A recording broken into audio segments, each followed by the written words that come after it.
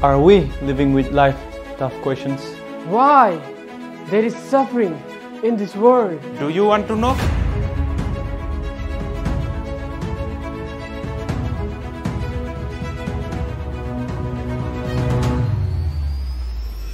We welcome you for our regular monthly Sabbath afternoon forum.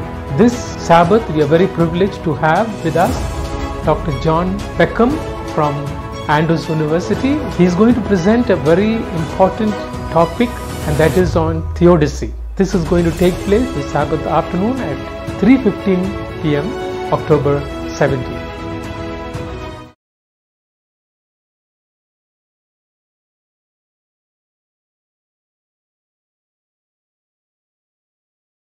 prayer. Prayer. Our Father in heaven, thank you for adding a Sabbath in our day, uh, in our life, Lord. Lord, we do thank you for arranging this wonderful forum for us, Lord. Lord, as we are going to start this program with some songs, Lord, let your name be only be glorified, Lord. We ask these few in the name of our Lord and Savior Jesus Christ. Amen. For the first song, let's sing Faith of a Fathers Living Still.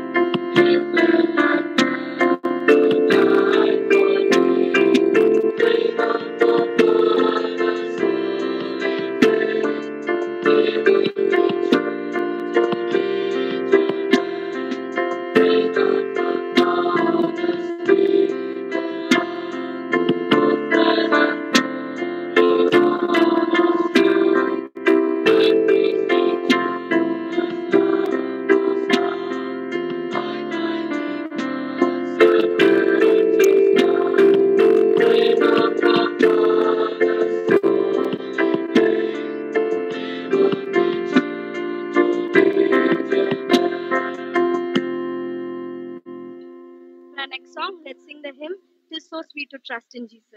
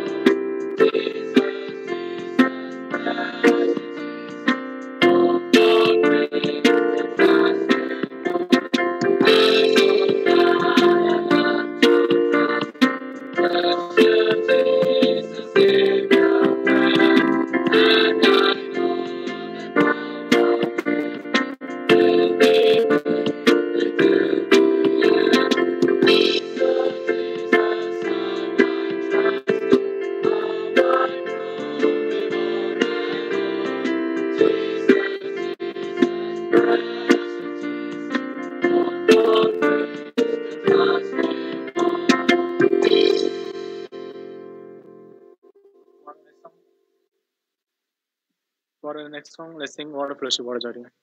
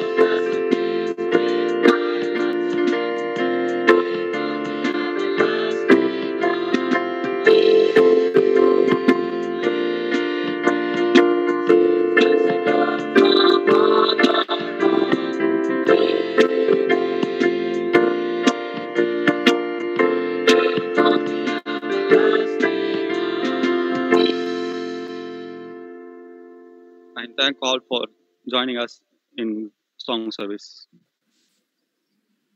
We would like to thank uh, the E.D. Thomas Youth for uh, their wonderful uh, leading in our, in, in our song service. And uh, uh, sorry for the video, I mean, so the audio was not so clear, but we want to thank the Lord for the youth and their ministry towards us. Now I'd like to call upon um, Mrs. uh, Sharon Clinton to do the welcome and opening prayer. Thank you, Sir Anish. Uh, good afternoon and happy Sabbath, everyone. It's so nice to have you all join us uh, for this special Sabbath forum. I'm so glad that uh, our Sabbath afternoons are not in vain. Instead, we have decided to use it in a very productive manner. And I pray that uh, today would be a blessing to all of us who are gathered here. Um, before we uh, start off with our service, I would like to read a passage uh, written by Paul the Apostle um, to young Timothy from uh, 2 Timothy chapter 2, verse 15. And I would be reading from um, New King James Version. It says, Be diligent to present yourself approved to God, a worker who does not need to be ashamed, rightly dividing the word of truth. I hope uh, we would take this seriously as Christians, as individuals, especially as um, the ambassadors of God. So you and I would be diligent in order to present ourselves uh, before God on that day of uh, judgment, so that God would be proud of all that we have done for Him. I take this privilege um, on behalf of uh, the Division of Religious Studies of Spicer Adventist University to welcome all our students, our faculty, and many who have joined us from uh, uh, the other churches across India. And a special welcome goes to Dr. John. Thank you so much for uh, taking this time to be with us and uh, being able to present a paper for us, for which we're very grateful. We pray that uh, this forum would be a blessing to all those who have gathered us, the ones who have joined us on YouTube, also on this uh, Zoom meeting. May God bless and be with you all as you take part in this uh, forum and learn a lot about what the Lord has for us through Dr. Be- uh, Peckham. We also pray for God's um, anoint anointment upon uh, Dr. Peckham as he speaks to us. Let us bow our heads for a word of prayer. Heavenly Father, we're so grateful for all that you've done in our lives. We're so grateful for the blessing of life that we have received, and also for these beautiful Sabbath hours so that we can commune with you and learn from the word of uh, the scriptures that you have given to us. Help us so that this time that we spent in your word would be a blessing to all of us, so that we would learn to become individuals who would do the best that we can with the abilities that you have given us. We pray for Dr. John Peckham. Use him mightily so that um, all of us gathered here would be blessed through the presentation, and also we would be able to pass on the information to the rest of the world through what we learned today. All these blessings I ask in Christ's holy name. Amen.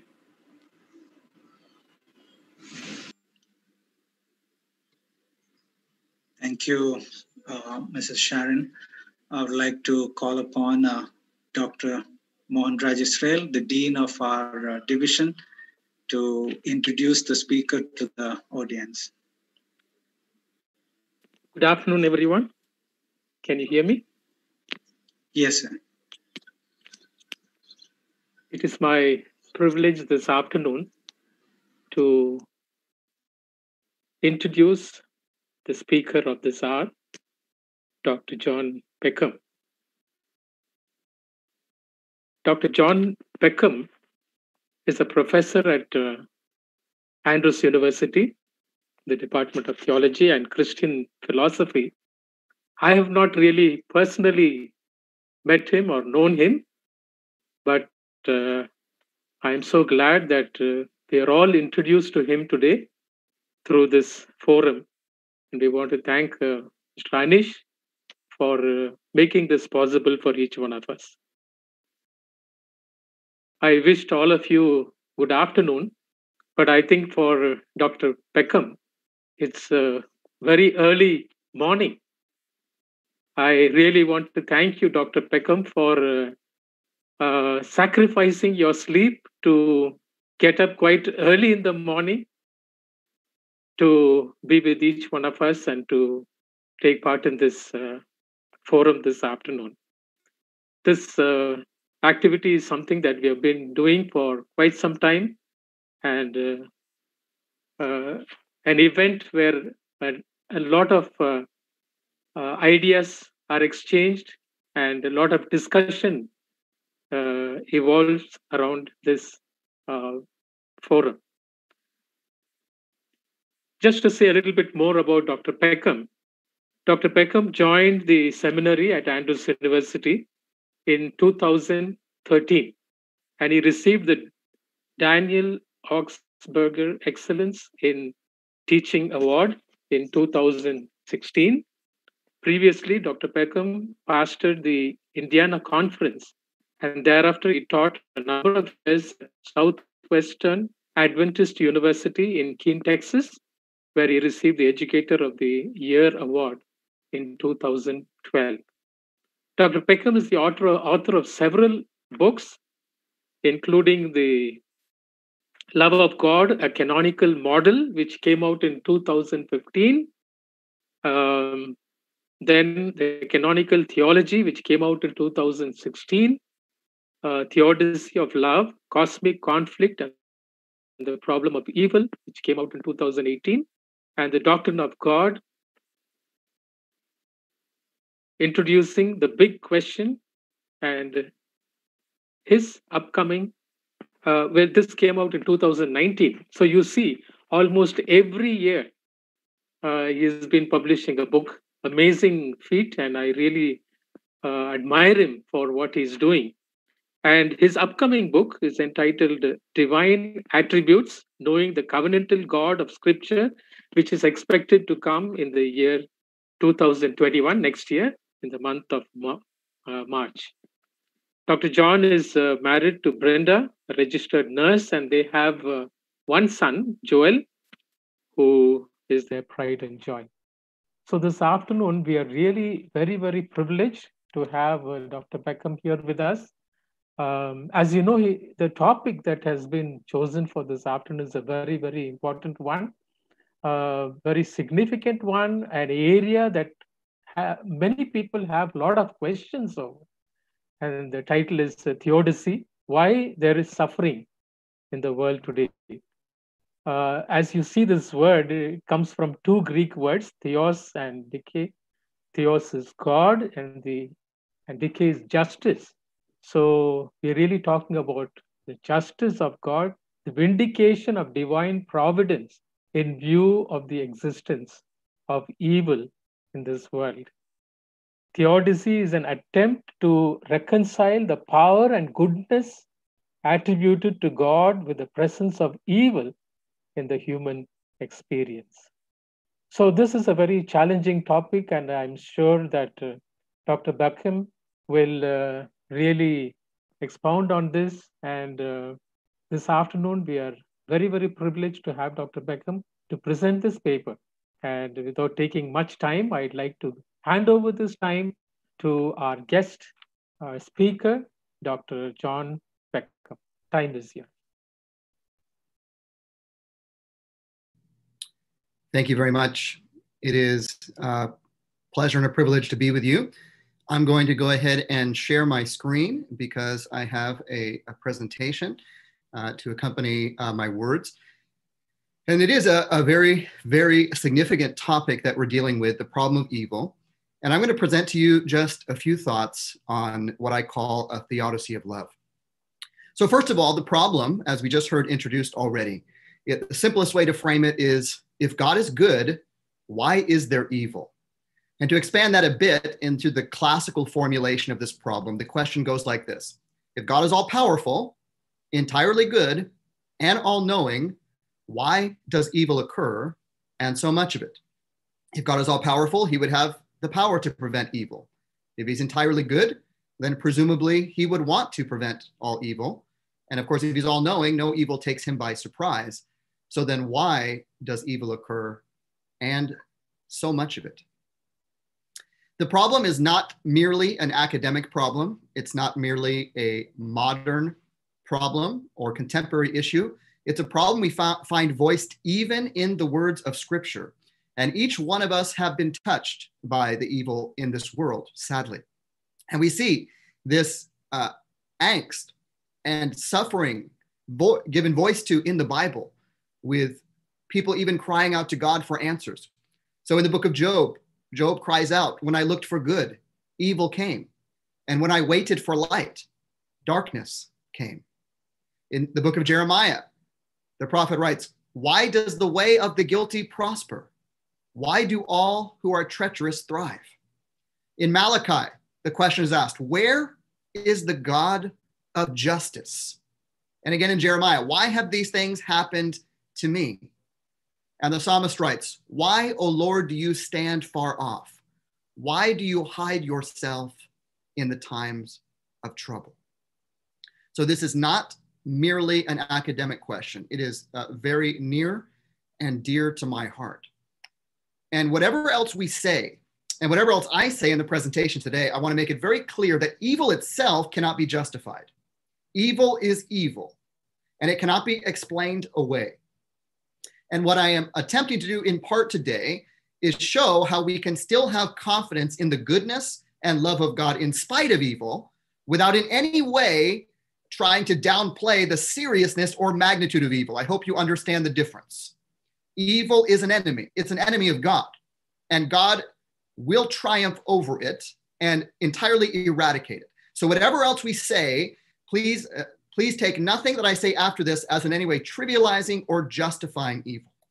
Secondly, what I'm presenting today is primarily with regard to this philosophical problem about how we can understand and have confidence in God in light of evil in the world. That's different from the question of how we ourselves cope with evil in our lives and suffering in our lives. And that's different than the issue.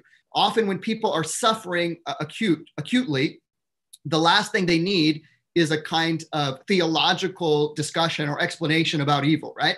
And so I want to differentiate those very clearly. What we want to do with anyone who is suffering or undergoing evil is draw near to them with tangible comfort and presence.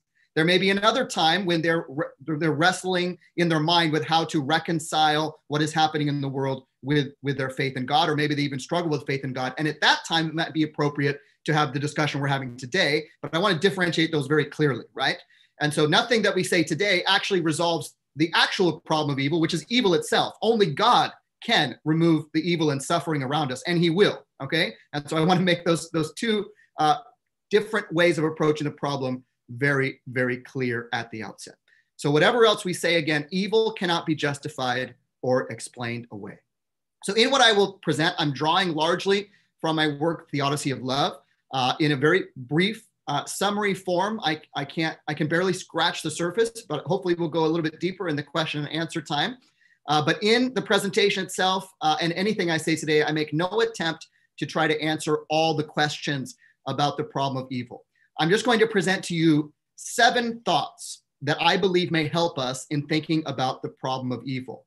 But again, only God can resolve the problem of evil.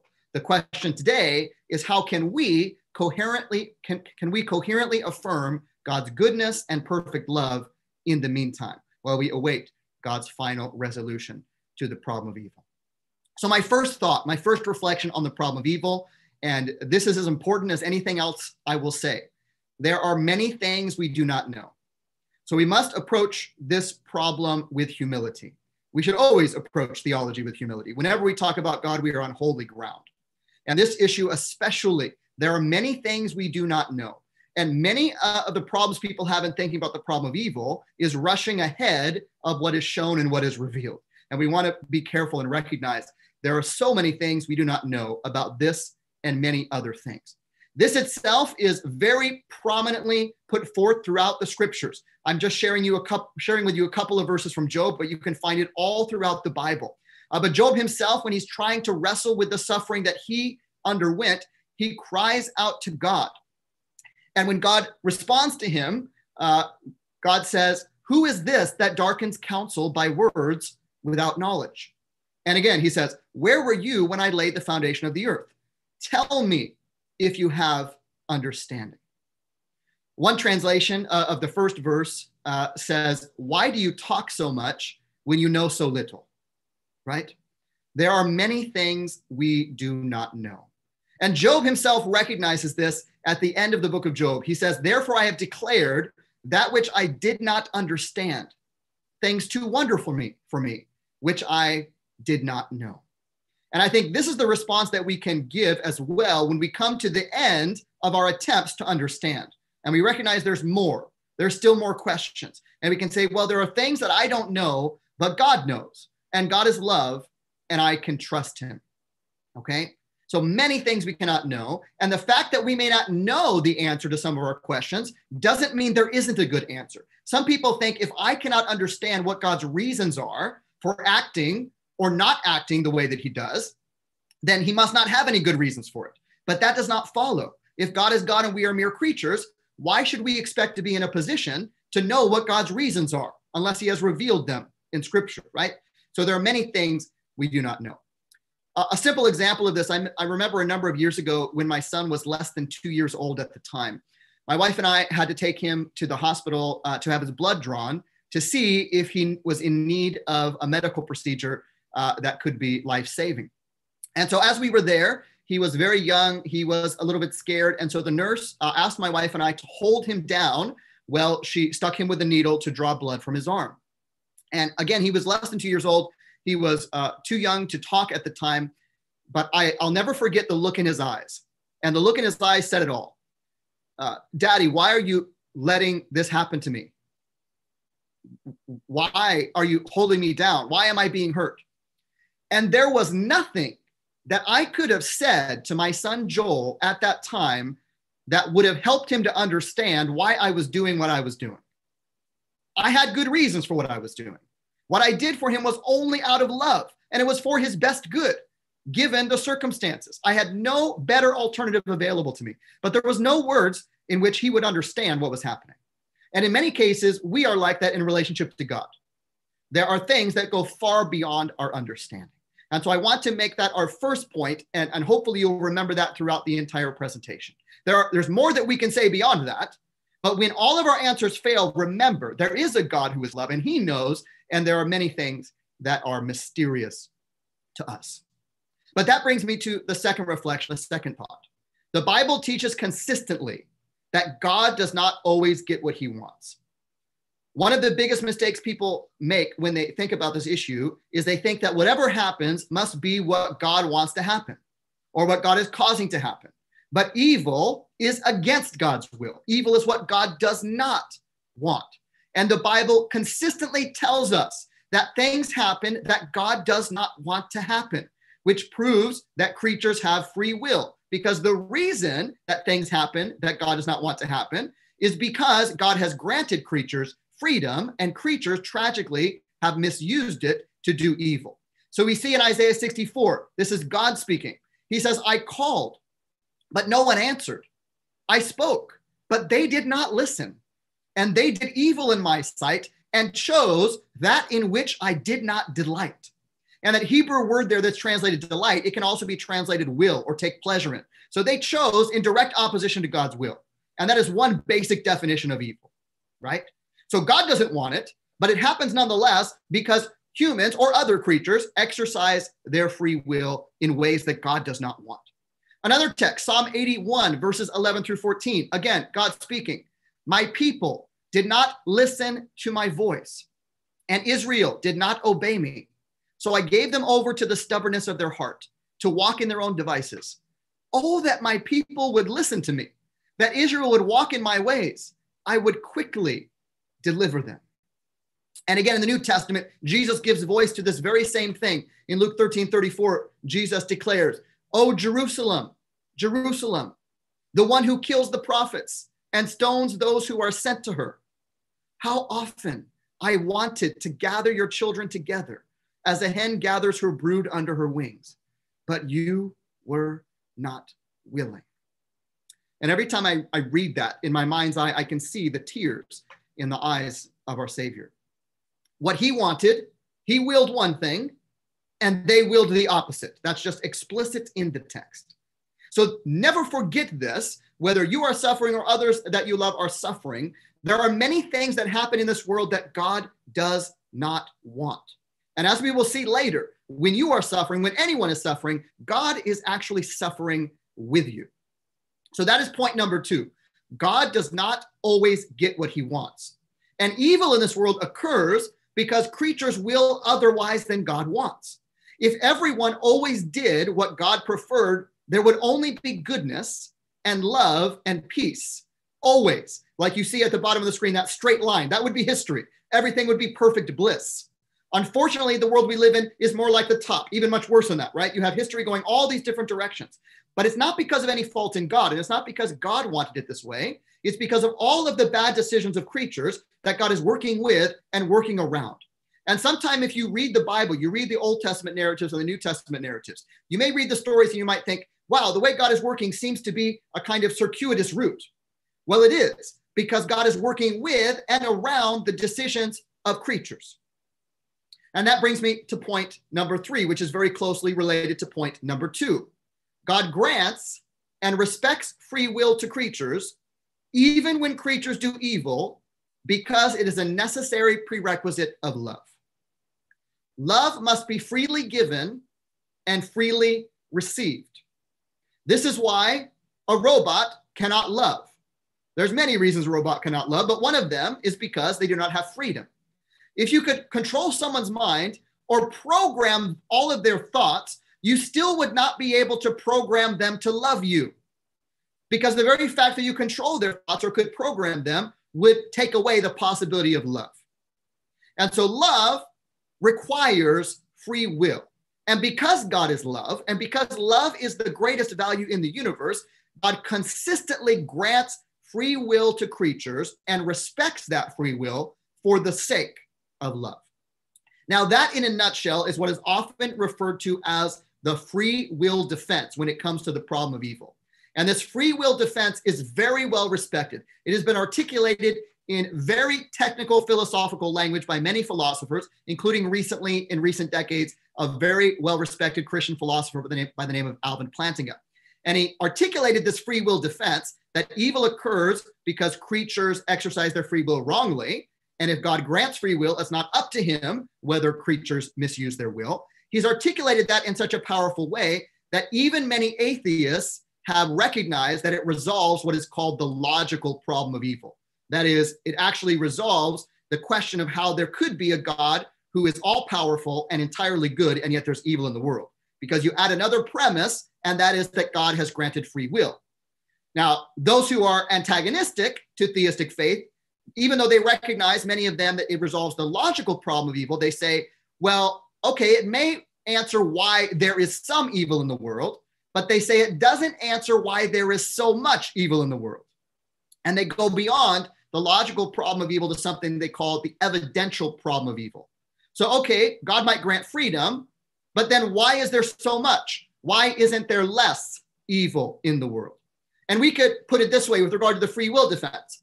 What about evils that God could seemingly prevent without undermining free will?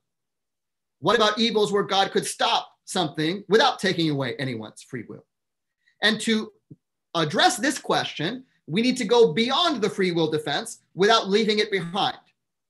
The basic answer to the problem of evil is that evil is a result of creature misuse of creaturely free will, and God granted free will for the sake of love. But there is more to the story that helps us to see a framework that makes sense about uh, this question what about evils that God could prevent without undermining free will? So that brings me to the fourth point, and this is the one I'm going to focus on uh, for a little bit here. There is much more to the story, a cosmic conflict, or what Adventists often refer to as the Great Controversy. Now, this idea of a cosmic conflict is not unique to the Adventist faith, although it is uniquely essential to Adventist theology, but it is recognized elsewhere. One uh, very famous Christian author who himself converted uh, from atheism to Christianity during his life. He wrote about his experience and his, in his book, Mere Christianity, C.S. Lewis, he wrote, One of the things that surprised me when I first read the New Testament seriously was that it talked so much about a dark power in the universe a mighty evil spirit who was held to be the power behind death and disease and sin. Christianity thinks this dark power was created by God and was good when he was created and went wrong. This universe is at war, and it is a civil war, a rebellion. And we are living in a part of the universe occupied by the rebel, enemy occupied territory. That is what this world is. And that is one uh, very good way of explaining the idea of a cosmic conflict between God and Satan. Now, in scripture, this cosmic conflict is represented in many different places. But one place I like to go to show it very quickly and succinctly is the parable that Jesus tells in Matthew 13, beginning in verse 24. It says, Jesus presented another parable to them, saying, The kingdom of heaven may be compared to a man who sowed good seed in his field. What kind of seed? Good seed. That's very important. The man sows good seed. But while his men were sleeping, his enemy came and sowed tares among the wheat. And tares are a noxious kind of weed. And he went away. But when the wheat sprouted and bore grain, then the tares became evident also. The servants of the landowner came and said to him, Sir, did you not sow good seed in your field? How then does it have tares? And if you were to translate that question, to the question people ask about the problem of evil, they say, God, didn't you create a good world? Why then is there evil in it? You see the parallel, right? And look at the answer that Jesus gives to this question. And he said to them, An enemy has done this. And later he explicitly identifies the enemy as the devil. So, right there, you just explicitly have uh, Jesus declaring the cosmic conflict and the cosmic conflict being responsible for evil. An enemy has done this. But it doesn't stop there. Then the servant said to him, Do you want us then to go and gather them up? And this is the second question people ask. Okay, so an enemy has done this, right? The, the devil has introduced evil. So why doesn't God just destroy him and eradicate evil right now? Why not just get rid of it? Just exercise his power. But he said, No, for while you are gathering up the tares, you may uproot the wheat with them. So, in some sense, according to this text, if God were to prematurely uproot evil, it would have worse consequences than the way he is dealing with evil, right? And the text doesn't give us all of the answers, but it tells us for some good reasons that God knows to uproot evil prematurely would actually be worse than to deal with it the way that God is dealing with it in his wisdom. So he says, Allow both to grow together until the harvest. And in the time of the harvest, I will say to the reapers, First, gather up the tares and buy them in bundles to burn them up, but gather the wheat into my barn. So there is a day coming when God will eradicate evil. And in his wisdom, there are good reasons for the sake of the wheat, that is, for the sake of the good, that he is not removing evil prematurely in a way that will actually damage uh, the good. And as I, as I mentioned before, we don't have to guess who the enemy is. Later, Jesus explains this parable. He says, The one who sows the good seed is the Son of Man. That's a reference to Jesus himself. And the field is the world. And the enemy who sowed them is the devil. And the harvest is the end of the age. And the reapers are angels.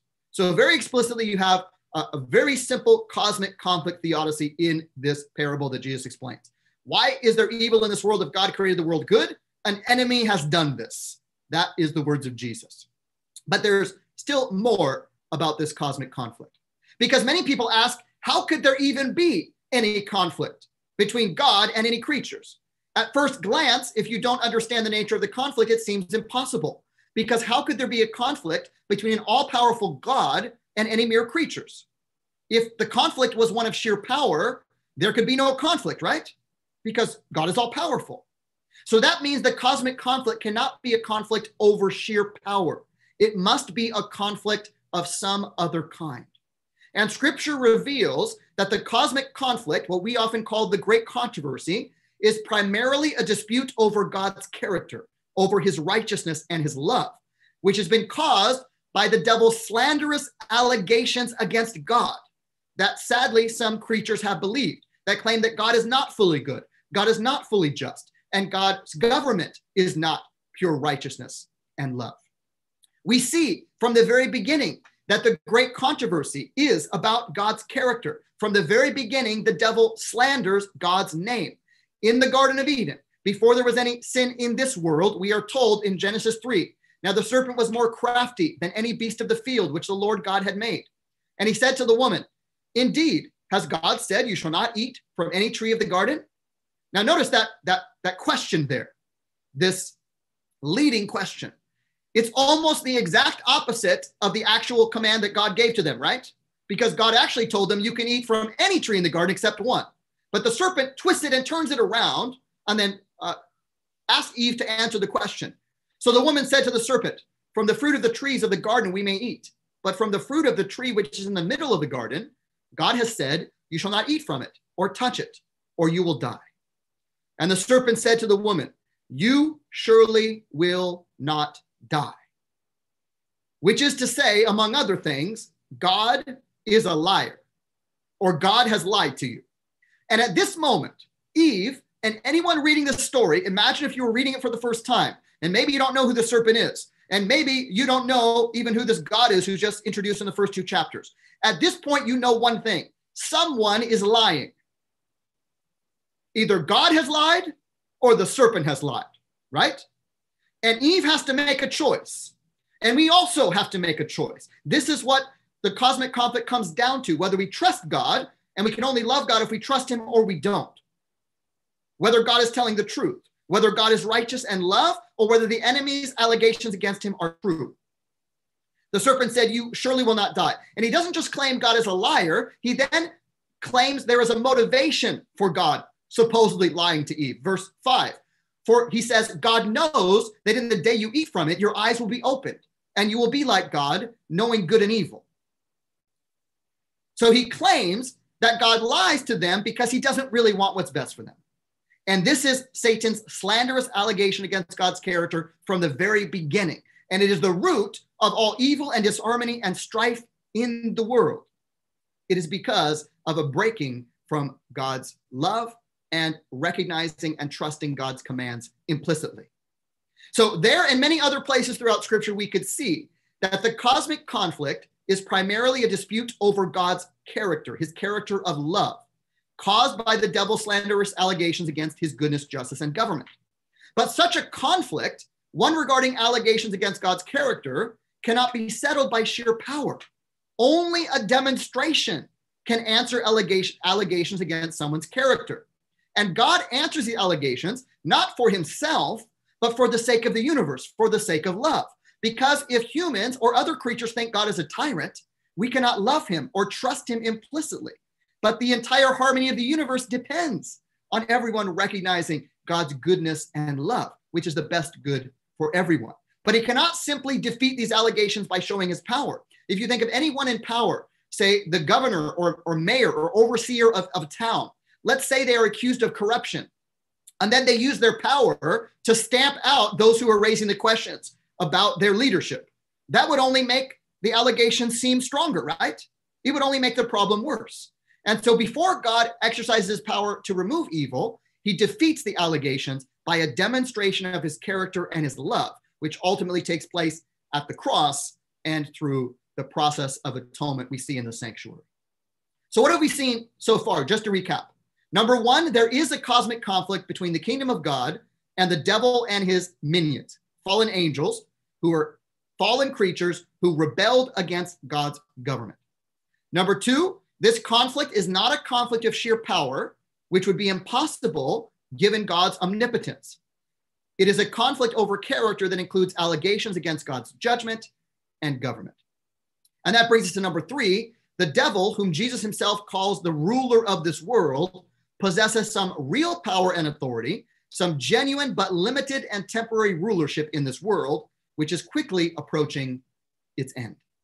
Now, where do we see this? Over and over in the Bible, we see that God himself is working within some parameters in this great controversy. One place you can see this is Daniel chapter 10. We're told in Daniel chapter 10 that Daniel had received a message that was true and one of a great conflict, which already brings to mind the idea of a great controversy. Then in verse 2, in those days, I, Daniel, had been mourning for three entire weeks. How long had he been mourning? Three weeks. And finally, someone comes to him in response to his prayers and his mourning. And then an angel comes to him, dropping down to verse 12, and he said to me, Do not be afraid, Daniel, for from the first day that you set your heart on understanding this and on humbling yourself before your God, your words were heard, and I have come in response to your words. But the prince of the kingdom of Persia was withstanding me for 21 days. Now, what has happened here? Daniel has been mourning and praying for three weeks. And the angel comes and says, From the first day, your words were heard, and I have come in response to your words, but I was withstood and delayed by the prince of Persia. And many biblical scholars believe the prince of Persia is actually a fallen angel that was trying to influence the human king of Persia. Maybe Satan himself, maybe another fallen angel, but some demonic power. But whether or not one thinks it is the human king of Persia or a demonic ruler behind the human king of Persia, the question still arises how could this be? How can an angel sent by God be withstood for three weeks? In order for this to happen, God must not be exercising all of his power. Because if God exercises power, an angel could be anywhere he wants immediately, right? By snapping his finger, so to speak. So God must not be exercising all of his power. The kingdom of God, including the way angels operate, must be operating within some parameters in the cosmic conflict. What I call, for lack of a better terminology, rules of engagement. Now, what are rules of engagement? In my view, not merely this passage, but many texts of scripture indicate that the cosmic conflict, the great controversy, takes place within some consistent rules, consistent parameters, what I call rules of engagement, within which those who oppose God are allowed to operate temporarily. And of course, if there were no such rules, if there was no such freedom for them to oppose God, they couldn't oppose God in the first place, and they couldn't actually ever make their case, and the allegations against God's character could not be settled. So, one way to define these rules of engagement the rules of engagement are those things to which God has committed himself in relationship to creatures, including any commitments he might have made with regard to the extent of rulership and jurisdiction that is temporarily afforded to the enemy, that is the devil, by the fall of humans within the cosmic conflict. Now, note this very carefully. It is not that God gave this world to the devil, humans gave this world by falling in the garden. And by falling, the enemy was afforded some rulership, limited and temporary, within this world, within some parameters, because of the fall of Adam and Eve in the garden. Now, you see many, many glimpses of these kinds of parameters or rules that even God is working within in the cosmic conflict in many places. First of all, we already saw Daniel 10. We're going to go to Job here in just a moment. But we see also that Jesus himself refers to Satan as the ruler of this world. Now, that would make no sense if there was not some sense in which Satan has some rulership, some jurisdiction. It's limited and it's temporary, but it is real. And in Luke 4, that Satan just makes this claim in the temptation of Christ. The devil said to him, I will give you all this domain and its glory. This is after he showed Jesus all the kingdoms of the world. And he says, If you just bow down to me, I'll give it all to you. You don't have to die on the cross. I'll just give it to you now. He says, I will give you all this domain and its glory, for it has been handed over to me, and I give it to whomever I wish. Then in Matthew 8, you have demons in a demon possessed uh, individual who cry out to Jesus and they say, What have you to do with us, Son of God? Have you come here to torment us before the time? Which implies that they know they have a limited time to act, but there is a future judgment that is coming.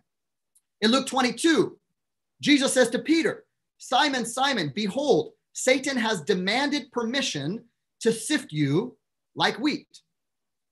Then in Mark 6, we find that in his hometown of Nazareth, it says Jesus could do no deed of power there, except that he laid his hands on a few sick people and cured them. So somehow, Jesus' miracle working ability was limited in that place. And in that context, it was based on their lack of faith. And then later in Mark 9, a man brings his demon possessed son to the disciples, and they couldn't cast the demon out. And then he comes to Jesus, and Jesus says, If you believe, all things are possible to him who believes. And the man says to Jesus, Lord, I believe, help my unbelief.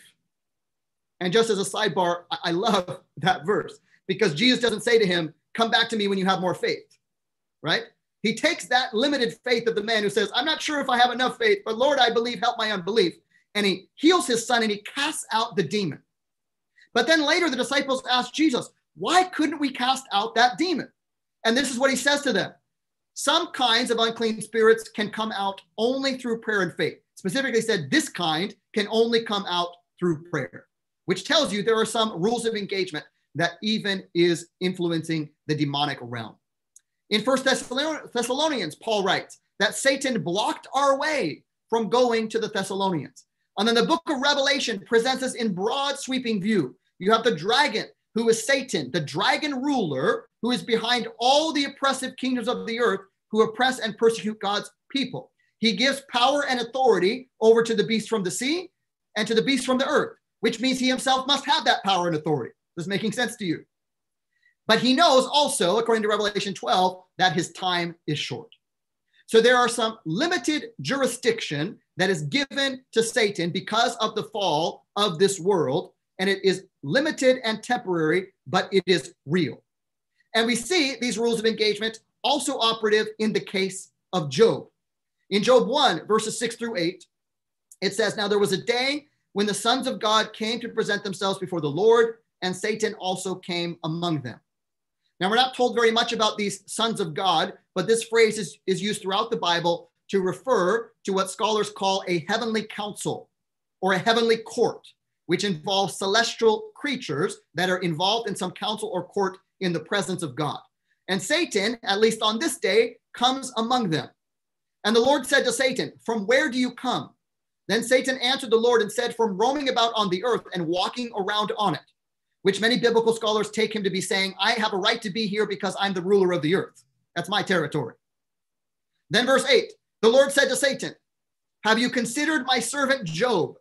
For there is no one like him on the earth, a blameless and upright man, fearing God and turning away from evil. Now, two things should be immediately obvious from these verses. First of all, there must already be some ongoing dispute between the Lord and Satan, because otherwise it would make no sense to say, Have you considered my servant Job? This is obviously a question he's raising in the midst of a conflict that is ongoing. Because it would make no sense if I said to you right now, you're listening to this presentation, I said, Have you considered my son Joel?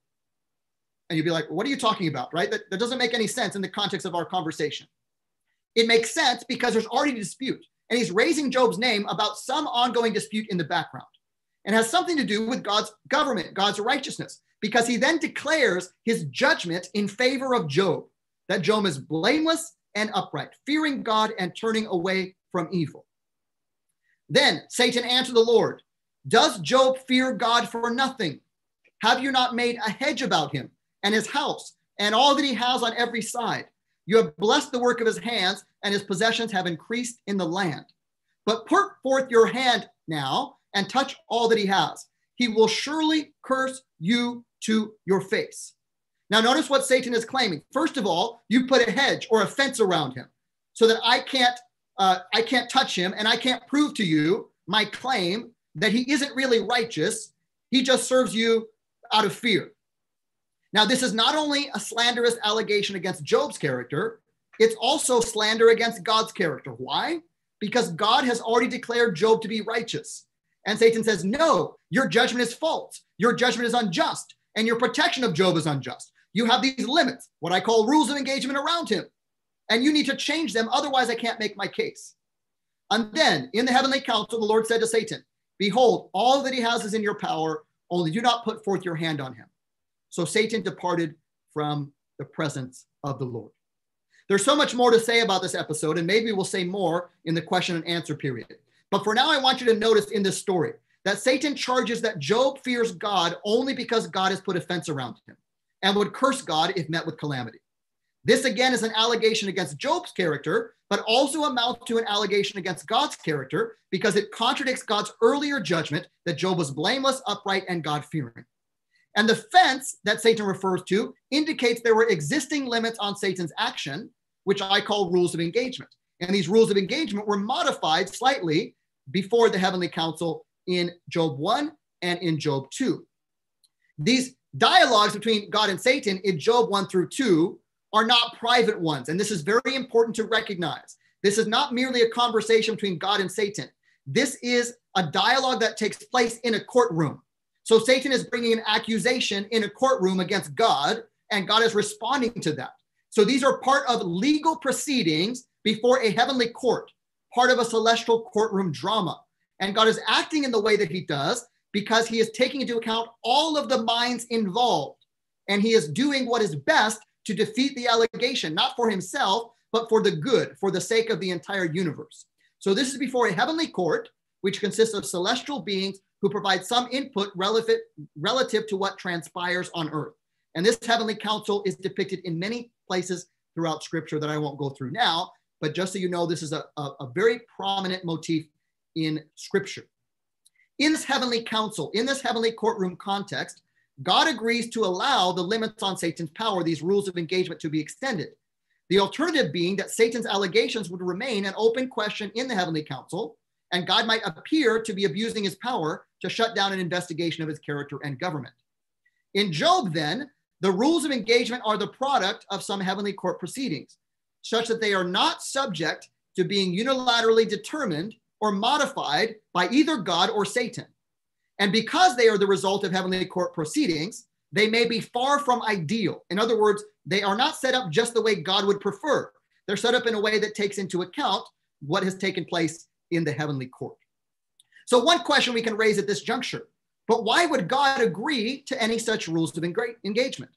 Well, as I mentioned a little bit earlier, if serious allegations are brought against a person in power, the best and maybe the only way to defeat those allegations would be to allow for a free, fair, and open investigation. If the allegations threaten the entire government of love, they cannot simply be swept under the rug. And given that allegations against one's character cannot be defeated in the minds of others by the exercise of sheer power, it may be that there was no preferable way, not only for God himself, but for all concerned in the heavenly council and beyond, to respond to the enemy's allegations against God and his government, except to allow an open hearing and demonstration. Yet such an open hearing would require something like rules of engagement. Now, these rules of engagement do not pose any limit on God's sheer power, but because God never lies and God never breaks his promises, any agreement that God enters into would effectively limit morally the exercise of God's power to eliminate or mitigate evils that fall within the enemy's temporary jurisdiction. If this is so, there may be many instances where God would otherwise choose to prevent and or mitigate evil occurrences, but doing so would be against the rules of engagement. It would be against the rulership that was given over to the devil by Adam and Eve when they fell.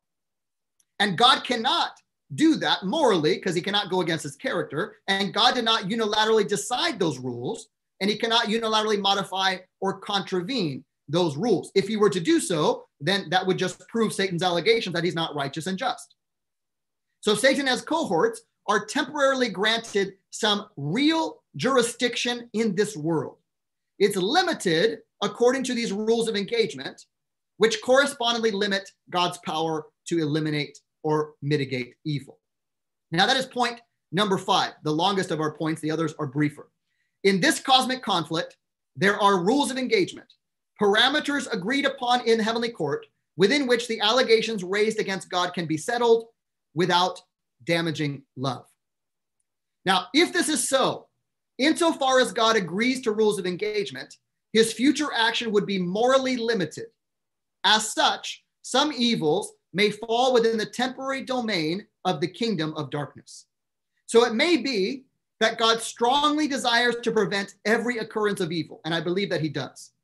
But doing so in some instances would either, one, go against the creaturely free will necessary for love. Number two, contravene, go against the, the rules of engagement, otherwise result in greater evil or less flourishing of love. Anytime there is event of evil and we don't understand why it is not prevented by God, one of those three things, or maybe more of those three things, may be at play. And God has good and loving and righteous reasons for why he refrains from acting in ways that we think would be best, because they might not actually be best given everything God knows, given the rest of the story. Now, this was highlighted and driven home by a children's story I read uh, when I was a young boy in Guide magazine. It was a serial, each chapter came out uh, every week. And the story is called The Sword of Dennis Anwick. It's a story about a young boy living in medieval Europe in medieval times. And we learn very early in the story that Dennis absolutely hates the king of his land. And as the story goes on, we learn that the reason Dennis hates the king of his land is because when he was a very young boy, his parents were very sick. And the king's soldiers came and dragged him away from his parents. And for that, he despised and hated the king until he learned something. Through a series of events, he came to stumble upon the king's own book in the king's castle. And the title of that book was titled The Chronicles of Pestilence, being an account of the dread black death and times following. And as he read the king's book, he read the king's own word. And the king said, It pains me to do it, but I separate the dying from the living to save the living from this horrible plague. And he realized for the first time that his parents were dying from the bubonic plague. And the only reason the king had separated him from them was for his good. There was more to the story, many things he did not know, but God was always and only doing what was best for him. And this is number six God always does everything he can, given the alternatives, to bring about the best good for all of us. And he will finally eradicate evil forevermore. Now, this is raised very clearly in Isaiah 5. In Isaiah 5, verses 1 and 2, Isaiah himself sings what he calls a song about God. He says, Let me sing now for my well beloved a song of my beloved concerning his vineyard. My well beloved had a vineyard on a fertile hill. He dug it all around and removed its stones and planted it with the tree in it. Then he expected it to produce good grapes, but it produced only worthless ones. Or literally in the Hebrew, it produced stink fruit. So what has happened here? The vineyard owner, God, has done everything he could for his vineyard. And then it produces rotten fruit. Now, in verse three, the speaker shifts to God himself. God says, And now, O inhabitants of Jerusalem and men of Judah, judge between me and my vineyard. So God calls on people to judge him, which, by the way, no tyrant does. No tyrant says, Go ahead and judge me. See whether what I have done is right. Judge between me and my vineyard. What more was there to do for my vineyard that I have not done in it? Why, when I expected it to produce good grapes, did it produce worthless ones or stink fruit? And that is the question. What more could he do? But Isaiah 5 is not the end of the story because in Matthew 21, Jesus picks up on this question What more could he do? And Jesus tells a parable. He says, Listen to another parable.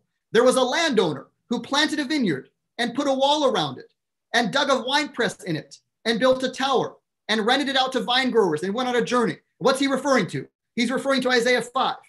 And so if you're reading this parable or hearing this parable, you should have the question in your mind. What question? What more could he do? That's the question. Then, verse 34, Jesus continues When the harvest time approached, he sent his slaves to the vine growers to receive his produce. The vine growers took his slaves and beat one and killed another and stoned a third. Again, he sent another group, larger than the first, and they did the same thing to them. These are God's prophets who they killed. But afterward, he sent his son to them, saying, They will respect my son. But when the vine growers saw the son, they said among themselves, This is the heir. Come, let us kill him and seize his inheritance. They took him and threw him out of the vineyard and killed him. Therefore, when the owner of the vineyard comes, what will he do to those vine growers? This is the question that I leave you with. What more could he do that he has not done? If you are tempted, even after everything else that God has revealed, if we're tempted to wonder, is God really good? Is God really righteous? Is he really doing everything that he could do? Look to the God who gave himself in Christ to suffer for us on the cross. And you will see that that God can be trusted. If there was any preferable way, wouldn't he have chosen it? Even if only to spare himself the suffering he underwent. And God did not only suffer for us at the cross, that is a supreme demonstration of God's love, but actually the God of the Bible suffers whenever you suffer. Whenever my son is hurt, I hurt because I love him. And whenever you are hurting, God hurts with you.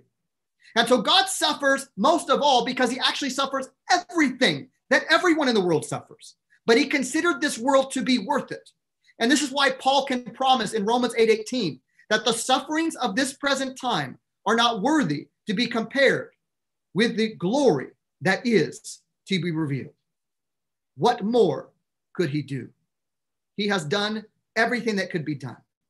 In the meantime, we can look to the cross and have confidence that the God who suffers with us in love can be trusted because he has done everything he could do. And in the end, we have this promise that when the great controversy is over, he will wipe every tear from our eyes. There will be no more death. There will be no more sorrow. There will be no more crying or pain. For all these things are gone forever. So, those are my seven thoughts. There are many things we do not know. God does not always get what he wants. God grants and respects free will, even when creatures do evil, because it is a necessary prerequisite of love. But there is more to the story a cosmic conflict. And in this cosmic conflict, there are rules of engagement, parameters agreed upon in the heavenly court, within which the allegations raised against God can be settled without damaging love, not for God's sake, but for our sake. In the midst of this, God always does everything he can, given the alternatives, to bring about the best good for all of us, and he will finally eradicate evil forevermore. And in the meantime, we can look to the cross and have confidence that this God suffers with us, and this God can be trusted because God is love. Thank you. Um, uh, to have uh, summarized this book in, in such a short time, uh, I guess, you know, unless one goes uh, in the speed of a bullet train, it's not really possible. And I sincerely want to appreciate uh, Dr. Peckham for, uh, you know, it was in such a speed and but yet understandable. And thank you so much for making it more clear and easy for us to understand. Now, uh, we have uh, two responses, one from faculty and one from a, uh, a student. And I would invite Dr. Jason Israel at this time to make the first response. They may have a question, so I would like to request Dr. Peckham to take note of that. And after their responses, you make uh, uh, you answer or you make your response. And then we have a question answer sections. Number of questions have come to us. Uh, we will read them and you may respond to them after that. Thank you.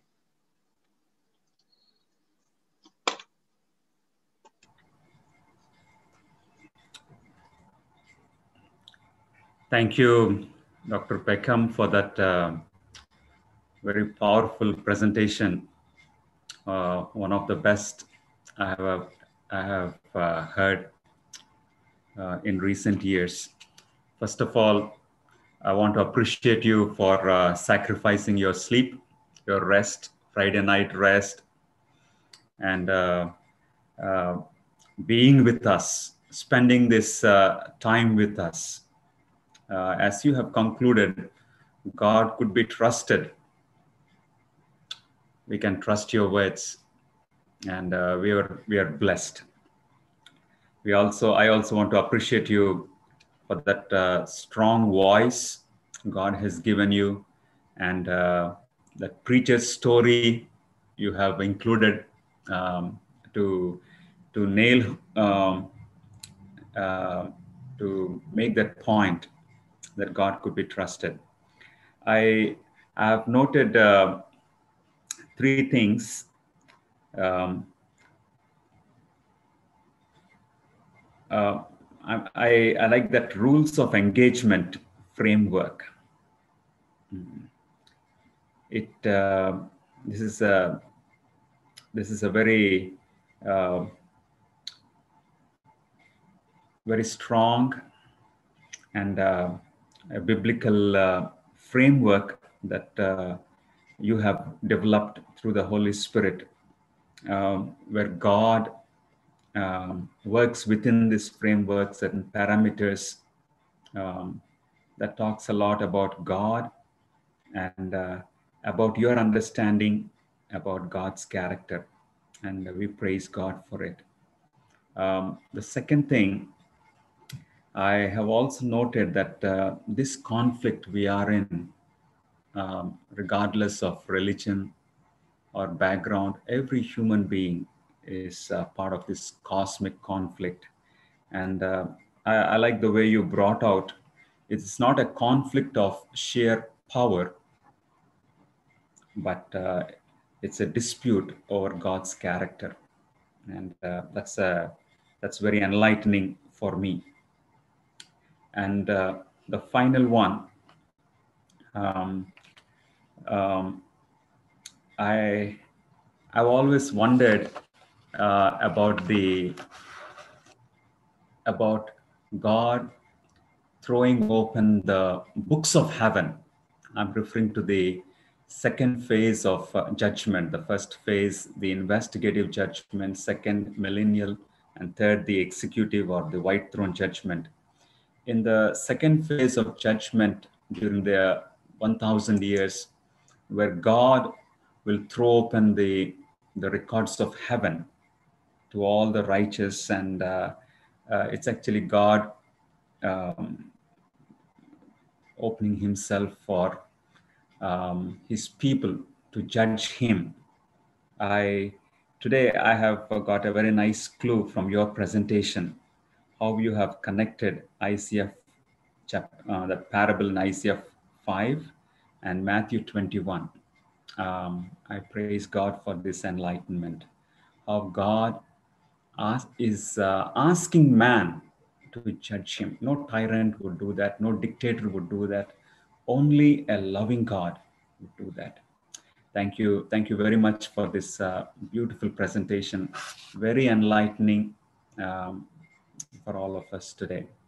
One question I was uh, uh wondering, you have referred to the parable um, that Jesus told in Matthew chapter 13.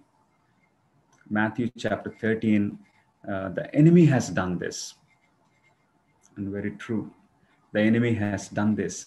And uh, in verse 30, I was wondering if there is any significance to this, uh, uh this word. In uh, Matthew chapter 13, verse 30, let both grow together until the harvest.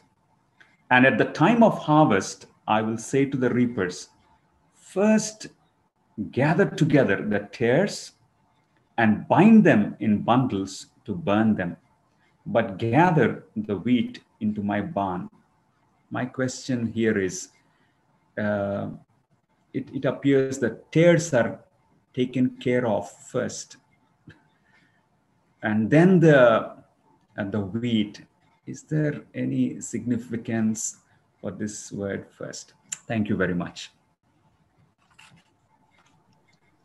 Thank, thank you so much for that response. Uh, it is a, a, blessing and privilege to be with you and to hear your words and, and the insights. Uh, I appreciate your response very, very much and resonate uh, with everything that you have said.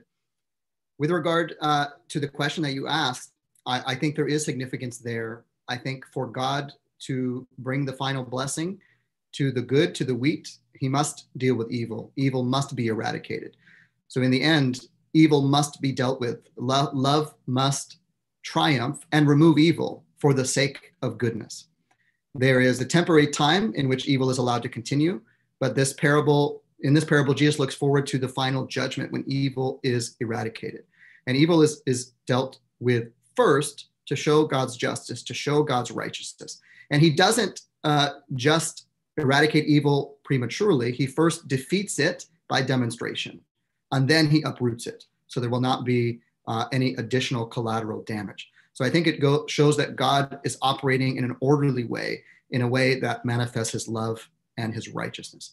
And it shows us as well, I believe, that our understanding of the cosmic conflict should call us to action to bring about goodness and justice wherever we can in the world, because that is what God wants now. And he will bring it in the end. But in the meantime, there's our opportunity to help others who might be suffering, who might be in need. And if we understand that evil and suffering is the enemy's work, we will work against it, always in the spirit of love, always in the spirit of God's love and justice. But we will try to bring about uh, uh, goodness and justice in the meantime while we wait for God's final judgment to finally remove evil. We will try to alleviate people's suffering and show God's love wherever we go in the meantime.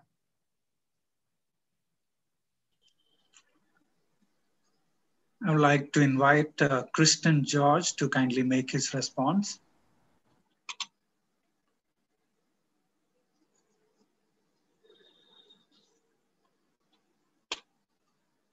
Oh, sorry, you are not audible.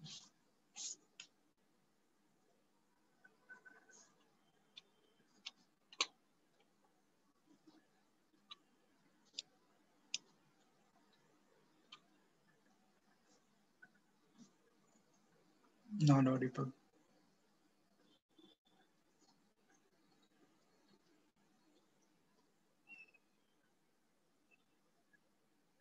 No.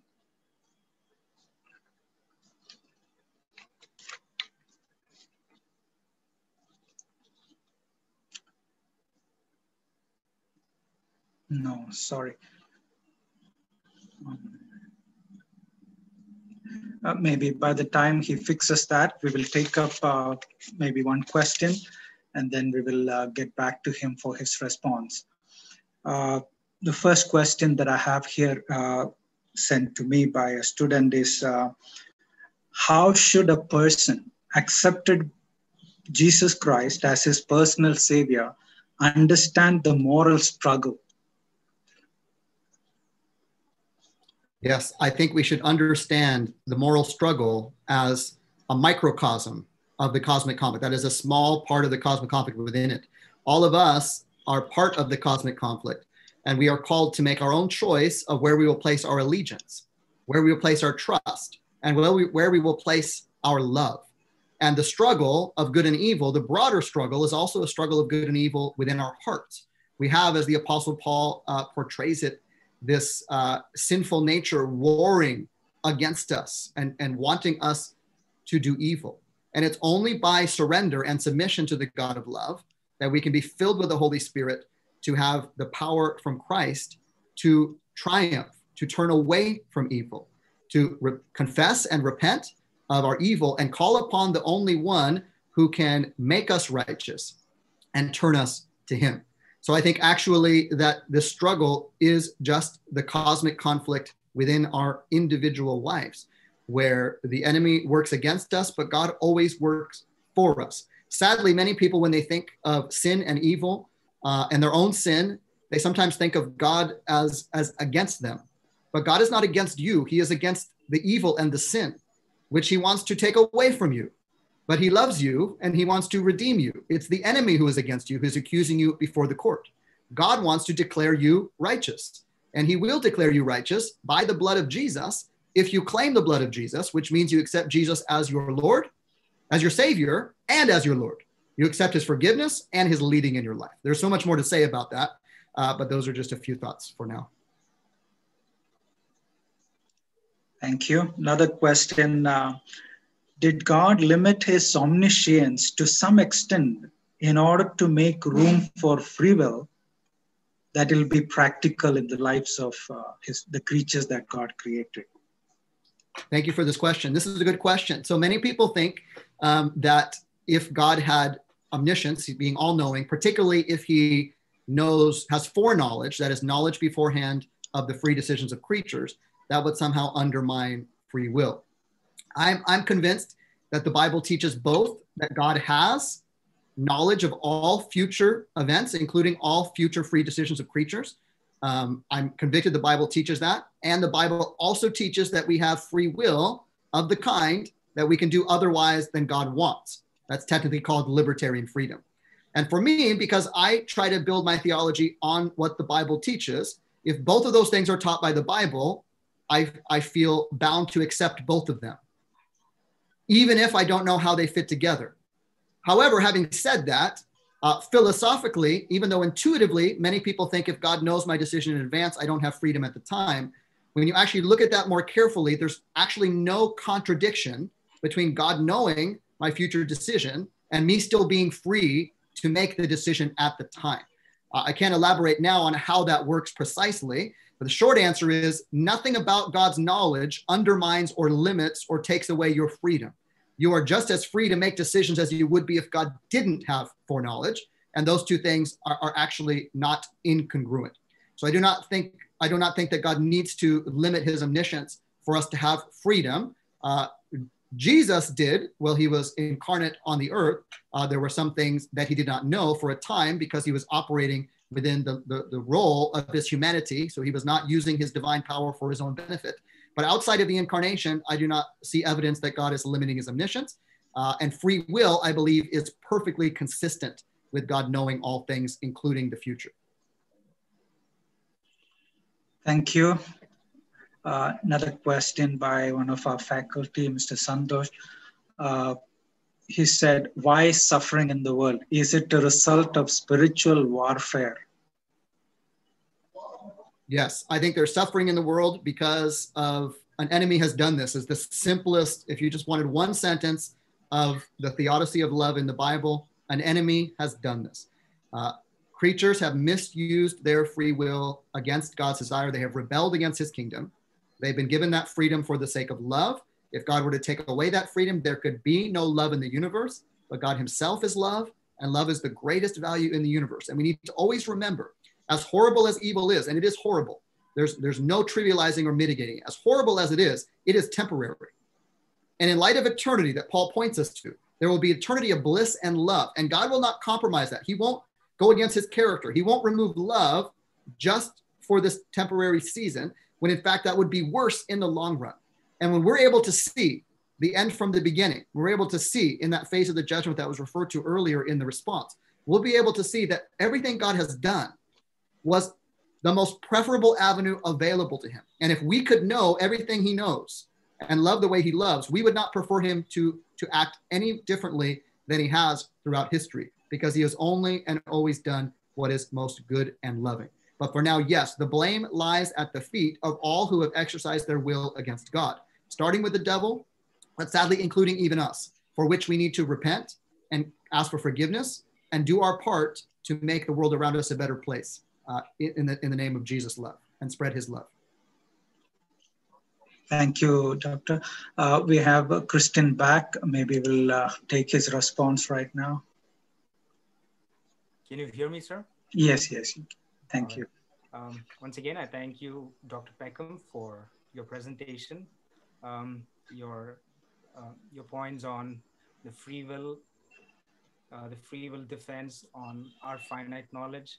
Uh, we've heard this before. What was new for me is um, that God does not always get what He wants, and also what was new to me was uh, the rules of engagement framework.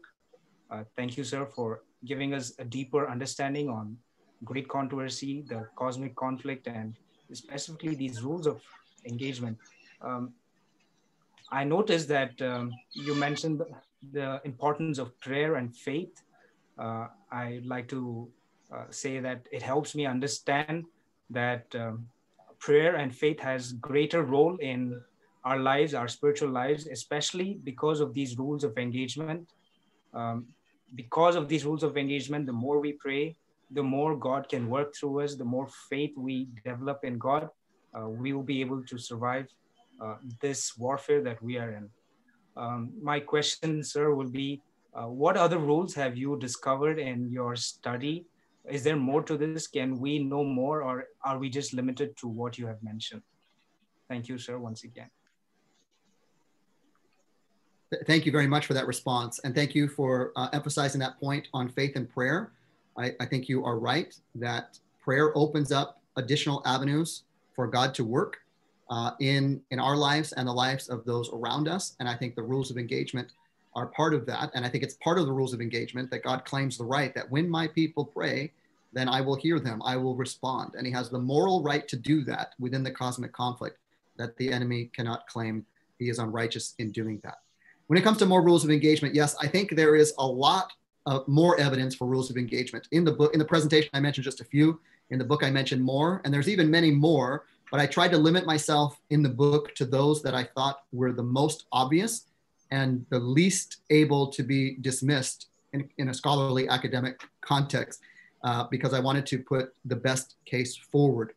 But I actually see evidence of the rules of engagement throughout scripture. Anywhere that you see God working around uh, what appear to be impediments to his action, I think there those are the rules of engagement at work, uh, including the free will he grants creatures, but also additional rules.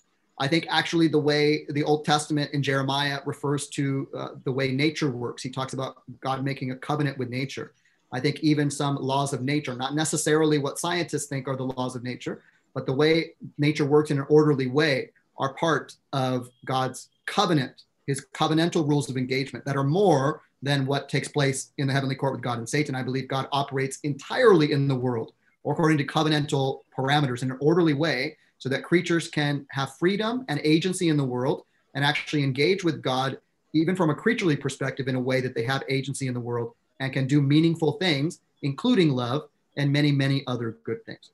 When it comes to precisely how the rules of engagement work, uh, we see a lot of evidence of them, but we don't have a lot of articulation of exactly how they work in particular circumstances. So we have glimpses here or there, but there's a lot of mystery beyond that. And so I try very carefully not to speculate uh, beyond what is revealed uh, as much as possible because there are many things we do not know. And there are many questions I also have about how all this works. Um, but I, I am confident that there are such rules, but I don't always know what they are. I don't know what they are most of the time. Uh, all the time, really, I don't know what they are, except in the very case, few cases where Bible the Bible mentions them specifically. Uh, but they are there and operating in the background, and it helps me to remember there is much more to the story. God is working around and, and within and around impediments and factors that we we cannot even dream of in some circumstances. So in, in, in, some of the worst cases where we think, I can't think of any reason God might have for refraining from action, we have to remember that there are, there are many other factors that we just don't know about.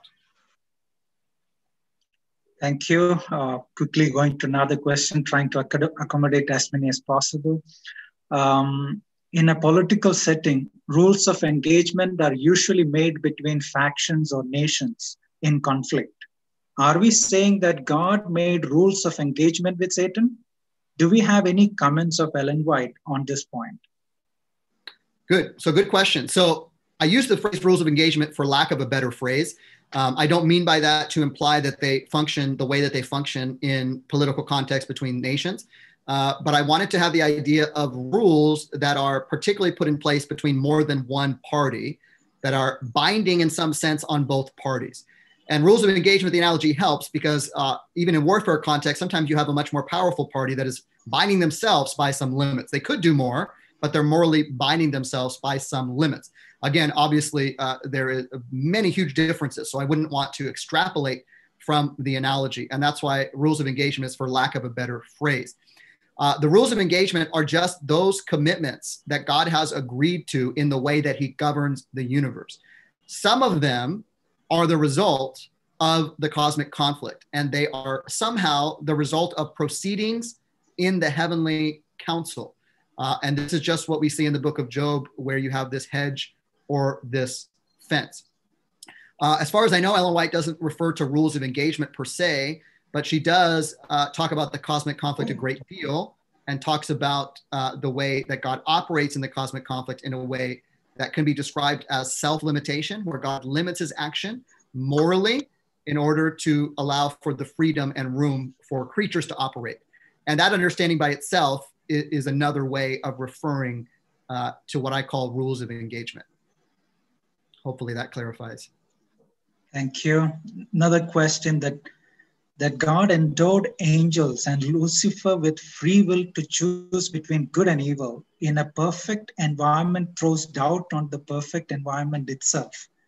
Does not free will presuppose the existence of evil? And therefore, the theological question is evil a necessary good? Simply put, could God not have created free willed individuals in an evil free environment?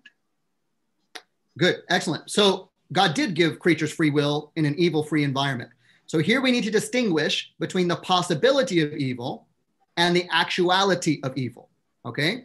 The possibility of evil, if love requires free will, if love requires freedom to receive love and freedom to give love, then love also must require the freedom to reject love.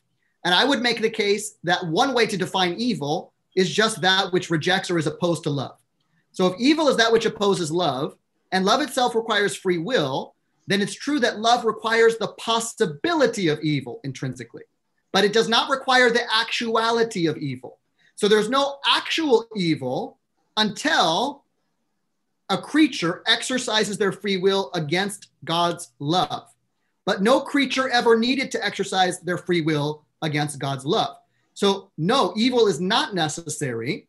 Evil did not exist. Only the possibility of evil is necessary for free will and necessary because love requires free will. But there was no actual evil until creatures exercised their free will against God.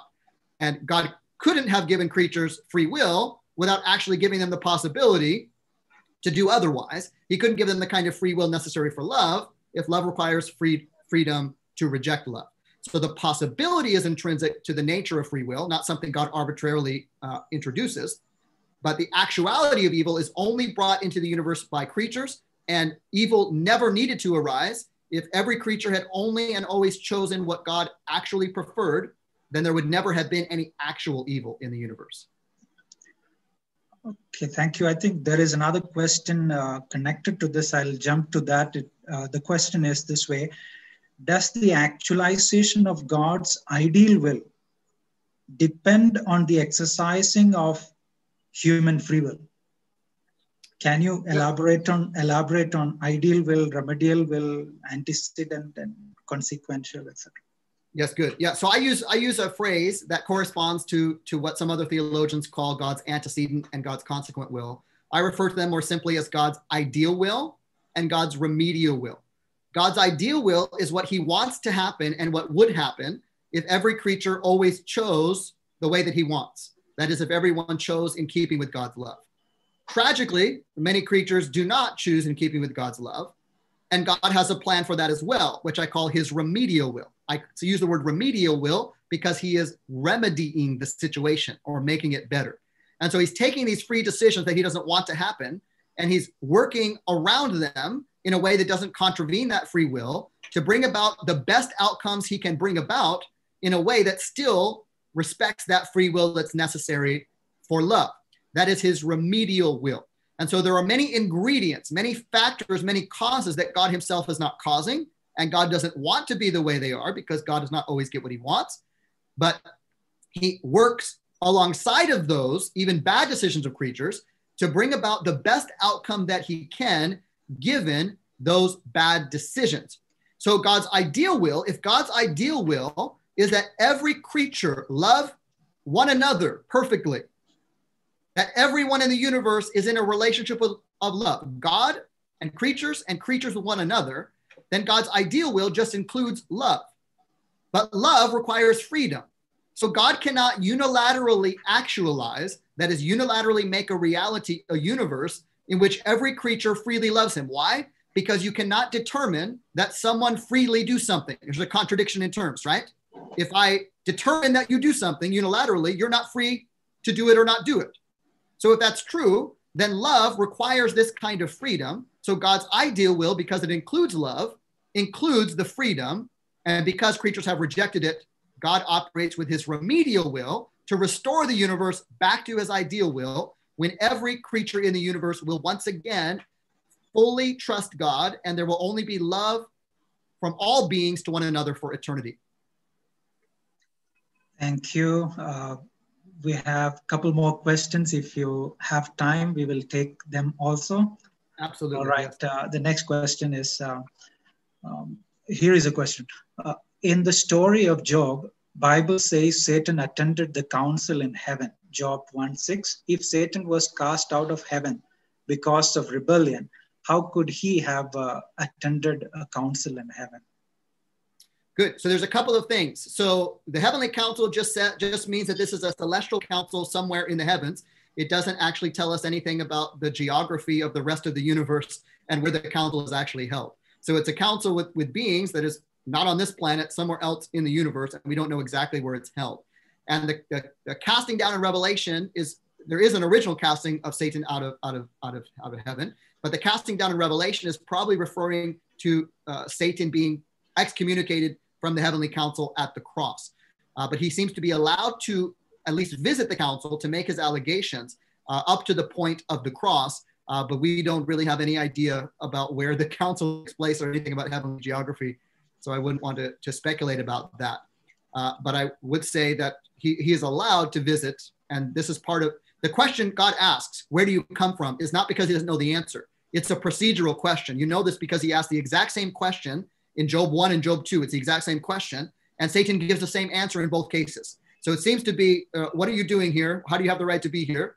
And Satan claims, I'm here as a representative of the earth. In both cases, it's a procedural question. And that's why Satan appears to be allowed to make his case in the heavenly council because rulership was given over to him by the human rulers of this planet. When they fell, then rulership transferred to him temporarily.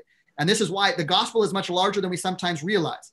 This is why Paul speaks of Jesus as the second Adam because he comes as the new ruler of humanity to come and take back, take back the rule of this earth for humans from the enemy who, who has usurped it from Adam and Eve.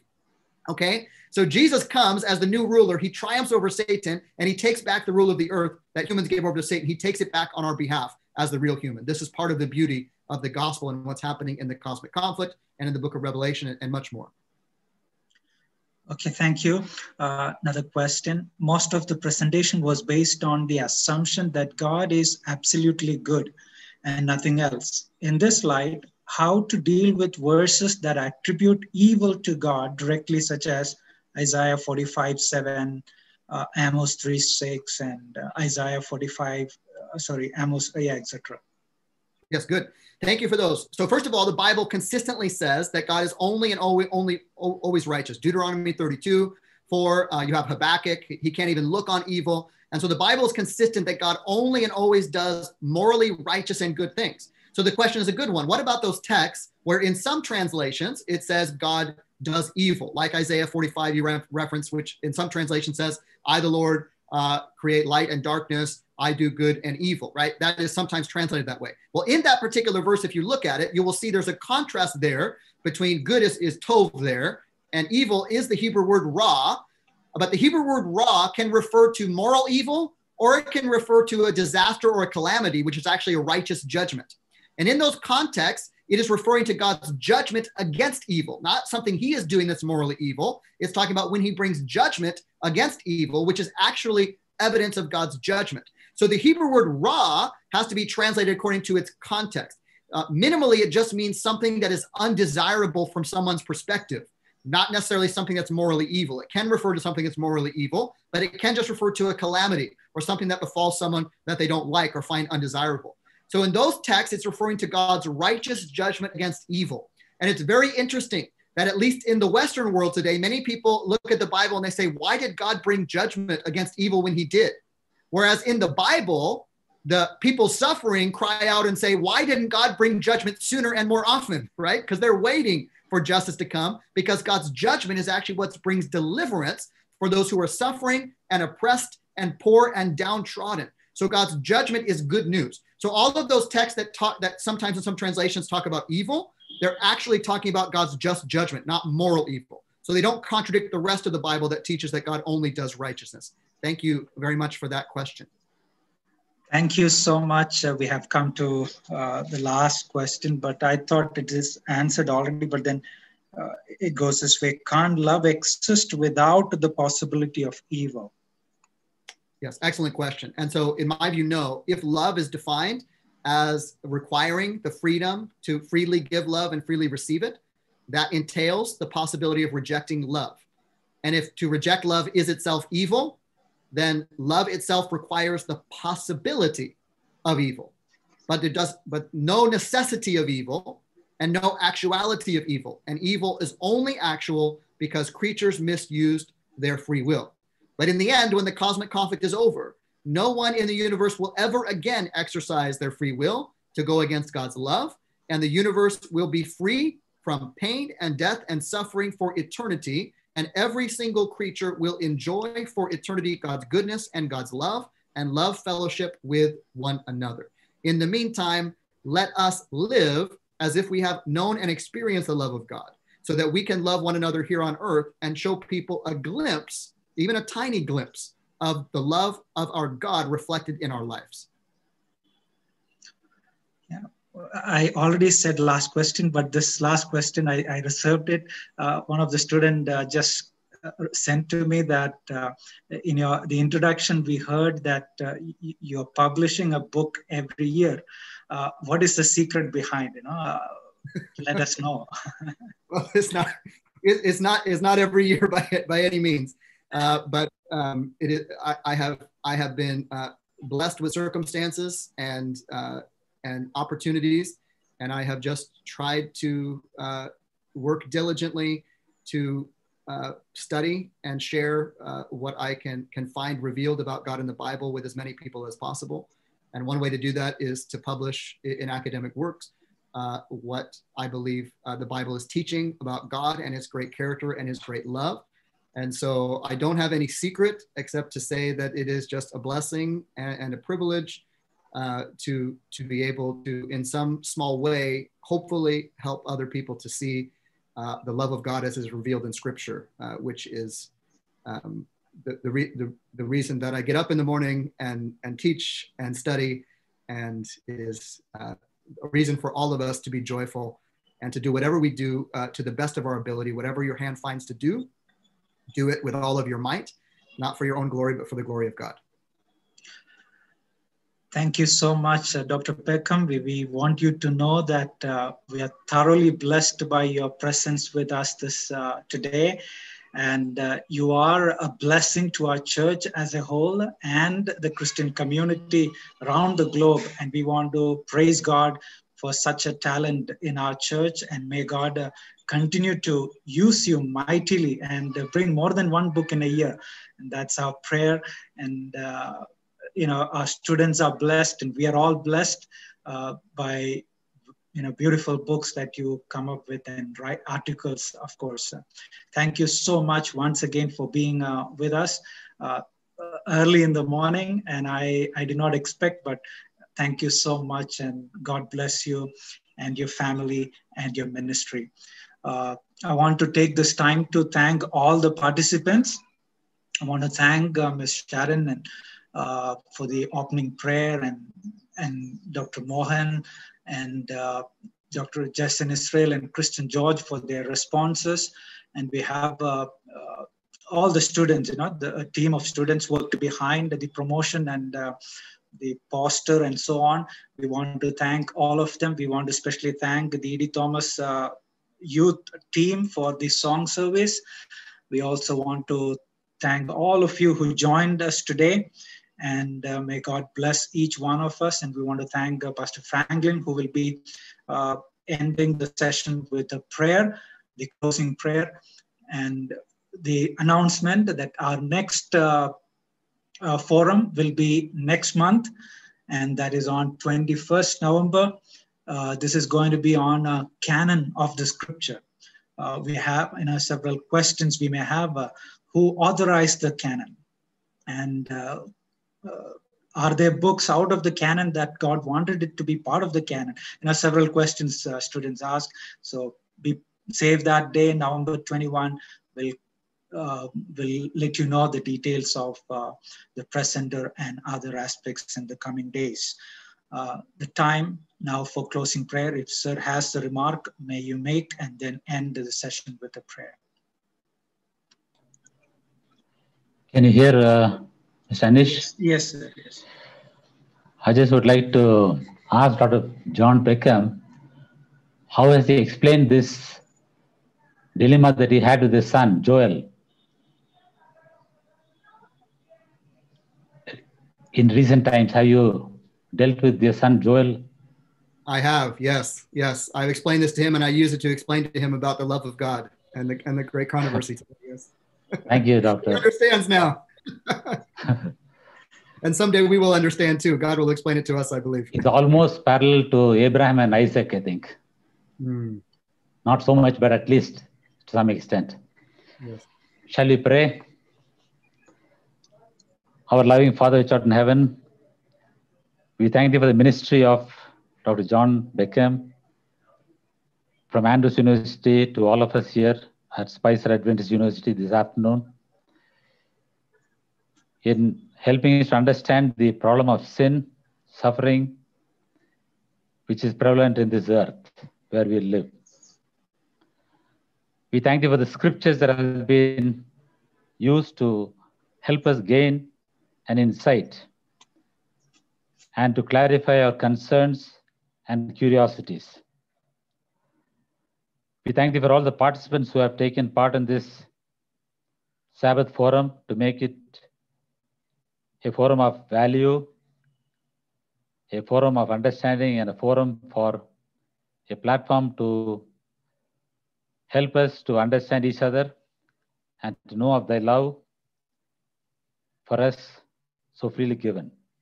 We thank for Spicer Adventist University and its student body for being engaged in this wonderful Sabbath afternoon activity. And so, Lord, we pray and thank thee for the solution that thou hast given us